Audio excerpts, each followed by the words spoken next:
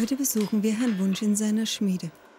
Mit seinen 70 Jahren ist er der wahrscheinlich älteste Schmied Sachsens.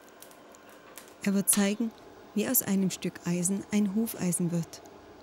Als historisches Beispiel machen wir das jetzt in dem Sinne, führen wir das nun vor, wie wir das handhaben, wie so ein paar Hufeisen hergestellt werden.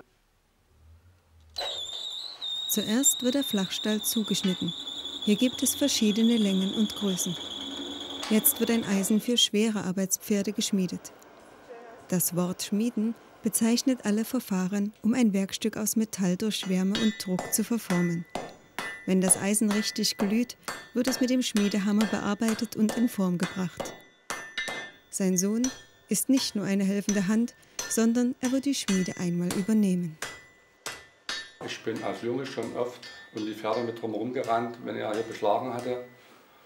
Und habe eben nach der Wende dann, wo es immer mehr Pferde wurde, gedacht, dass ich eben auch den Hufschmiede, Hufschmied lernen werde, um eben dann die Kunden zu übernehmen.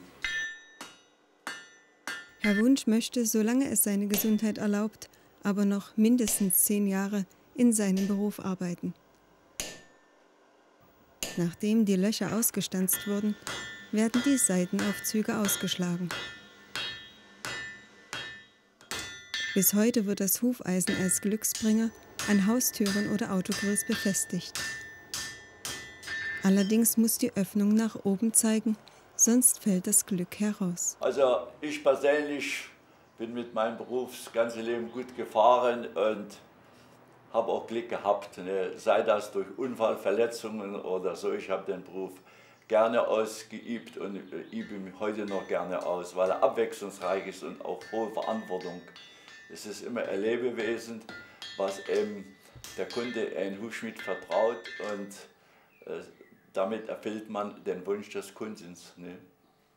Er hängt eben so sehr an seinem Beruf und an seinen Kunden, dass er eben, und eben auch gesundheitlich noch so fit ist, dass er die Arbeit eben gerne noch weitermachen will. Herr Wunsch hat in seiner Schmiede auch einen Stammtisch für die Leute aus dem Dorf.